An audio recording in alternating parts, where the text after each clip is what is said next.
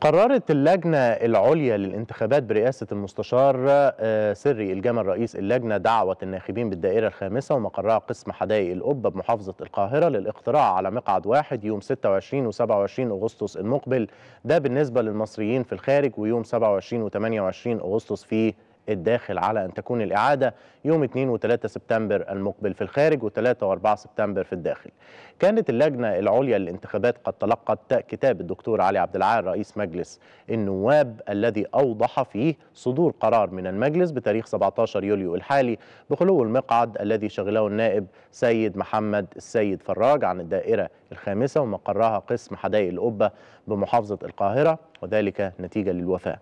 قال المستشار عمر مروان المتحدث الرسمي للجنة العليا للانتخابات في بيان له إن اللجنة العليا للانتخابات قررت على ضوء هذا الكتاب بدء الترتيبات لإجراء الانتخاب التكميلي بالدائرة المذكورة استنادا للمادة 25 من قانون مجلس النواب ليتم شغل المقعد البرلماني خلال 60 يوم على الأكثر من تاريخ 17 يوليو وأن تكون مدة العضو الجديد استكمالا